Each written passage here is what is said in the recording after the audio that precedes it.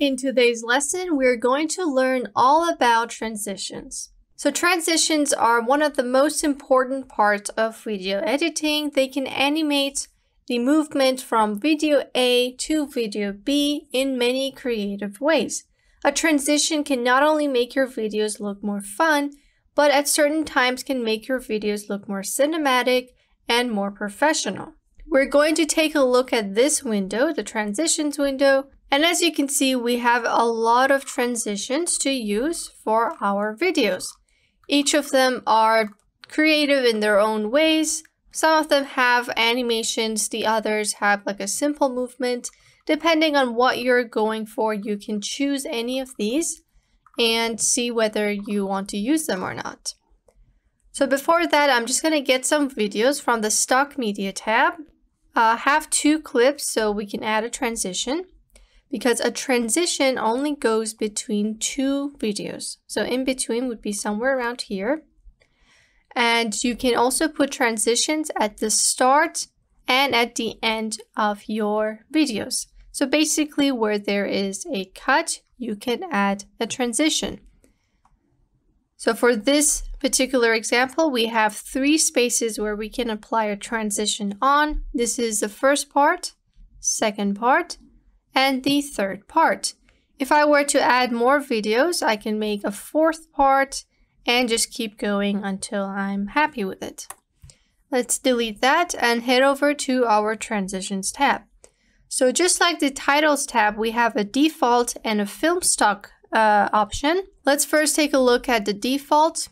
These are all free to use transitions and they're all categorized. We got basic, 3D, uh, speed blurs, and so much more. We also got graphic transitions like these. You can see which one looks best on your video. So let's first go ahead and try some of these. I will go to 3D and let's add um, fish roll 3 in between my video. Let's render the video so we can see it in full time until the bar up here is green. Now let's play this back. And you can see how we had a 3D transition going from video A to video B. If you want to remove a transition, just select it and then hit the trash icon and now it's gone. Let's try another transition like orb or maybe orb twist. Put it on here. Let's render that video and or actually this little part, play this back. And that is the orb twist transition. Let's delete this and take a look at some basic transitions. We got things that are pretty popular like a fade that is usually used for the start or the end of your clips. A fade is where it just goes to a black screen gradually. And we have different options like color distant. Let's see how this works. You can see that's how it is. And then we also have graphics that I can use for my transition. Just like that. So you have a lot of options to choose from. And you can just grab this transition box and put it at the start of a video. So this will no longer be in between, but it will be for the beginning of this video. You can also put it at the end of your clip. Play that back and it goes to a black screen. Because we have nothing else placed next to this video, go for the beginning. It goes from a black screen into our video. Or you could put it at the end of this clip alone. So you can choose whichever you want. And like we said, a transition is only for the edges and not the center of your video. Let's extend this one. And if I click and drag this, you can see I, I'm getting this thing on my cursor that's telling me that I cannot place it here. I need to go to the end or at the start. I cannot put it in the middle. So those were the transitions in the default panel. We have a favorites bar, which means that I can just favorite one of these and come back for it in a later time so I don't have to look for this. We also have a search bar, so let me go and include it and look for cross. I think it was whisk, yep. So there's the one that I favorited and I found it right away by searching. If you want to preview your transitions, just uh, go to that transition, double click to see a preview over here. And this is how it works. And let's take a look at something else.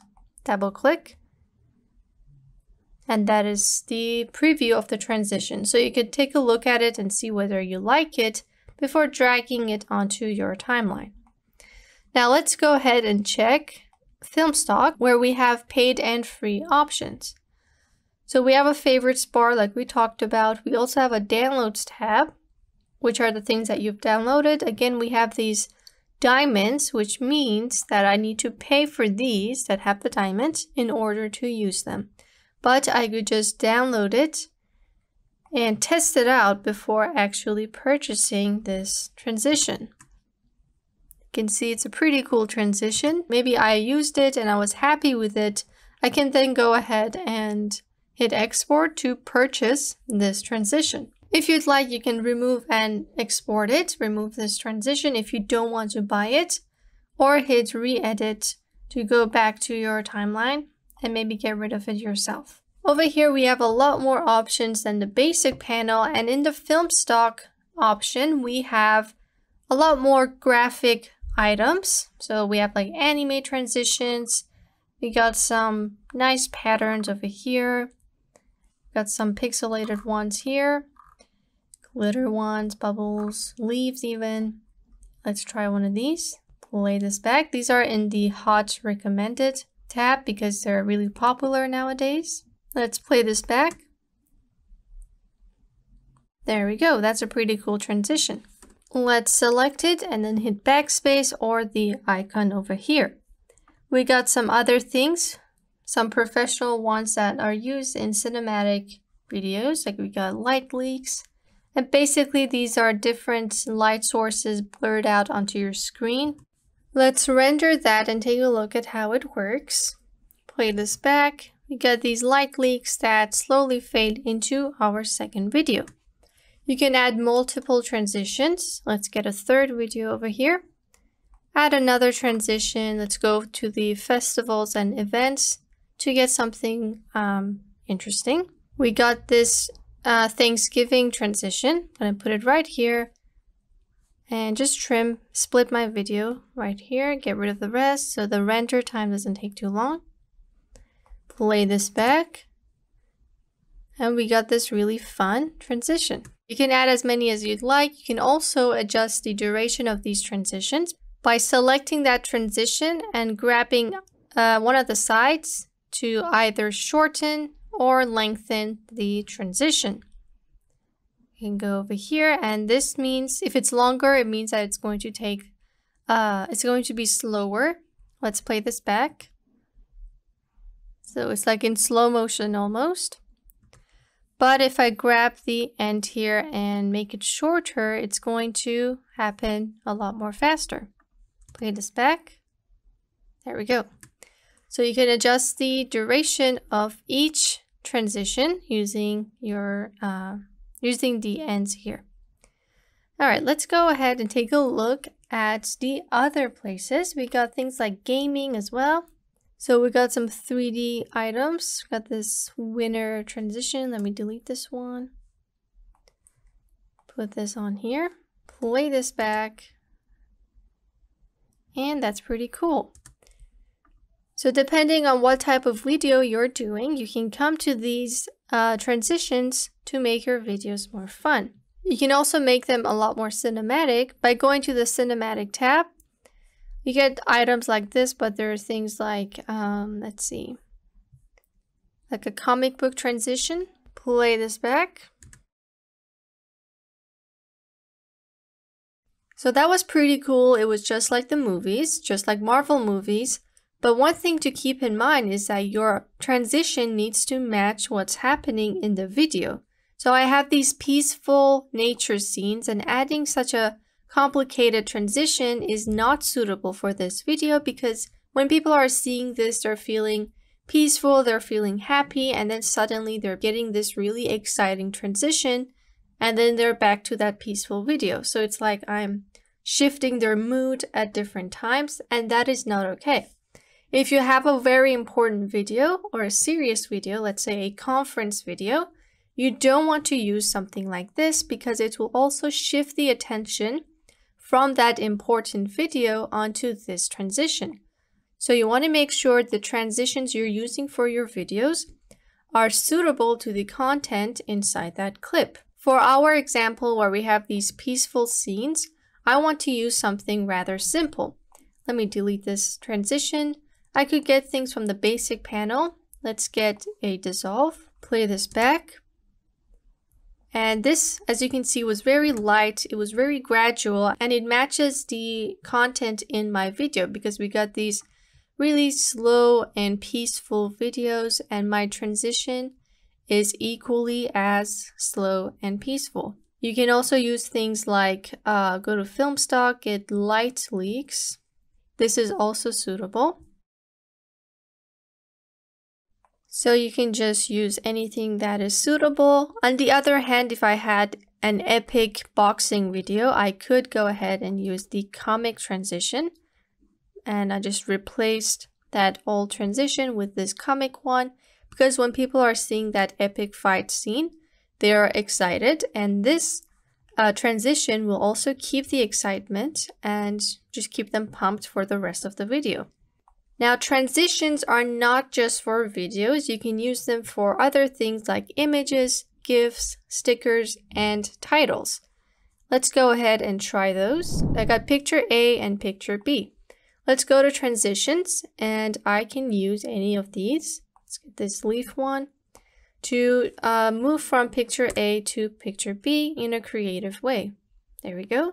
Can see how that works perfectly. Some of the transitions are full frame, meaning that this one, for example, went all over my frame. And if I had something small, let's get rid of this. I'm to place this on top. So I have my picture up here and I want to use a transition to slowly introduce the image to the scene. I can use a transition, but if I grab one of these full frame transitions, play this back, you can see how the image just appears. And I'm just getting a full frame transition that's not just over my video. So it's going everywhere and not on my uh, footage. So you want to use a transition that can fit your resized footage. An example would be the default tab, basic. Let's go for dissolve. Play this back and it's just happening on that one image and not my entire screen. So be careful with the transitions. Make sure that it only affects your scaled footage if you choose to scale down a footage. Let's get some text on top of this video. We can first try with titles that don't have a background like this one. If I play it back, we got this simple animation, but I'm still able to put my video underneath. Now I can use a transition to make the uh, appearance of this look a bit more subtle. Let's get blind one, this transition, and I can play this back to see this transition applied on top of the animation that the title already had. And this is also um, suitable for titles that have a background. I'm going to get rid of the rest of this. Get one of the openers that have a background, a transition in between these two. Let's play this back. There we go. So not only do we keep the animations in the titles, but we also get another transition that will reveal this title head over to Stock Media in Giphy, where you can get stickers and GIFs. Let's get this one, place it on top of my video, double click to resize, put it somewhere here. Without the transition, it will show up like this. Now let's add a transition. Go to Basic. Let's add Fade. There we go. Play this back. And it's going to fade in. You can use transitions for titles, GIFs, stickers, videos, and images. Let's delete this one and work with the duration of our transitions. Double click on one of them. And right over here, I can adjust the duration of this transition. So let's stick with 10, but I'm going to add maybe two more seconds to this and hit OK. You can see how this lengthened If I have multiple transitions, like we have two here, I can type in the number, but instead hit apply to all. And now this one is just as long as this one. Double click, I can choose whether I want it to be in the center, at the end of my first video, or at the start of my second video. And using these, I can make my work a lot more quicker. Transitions are really easy and helpful, and now you know how to use them for your videos.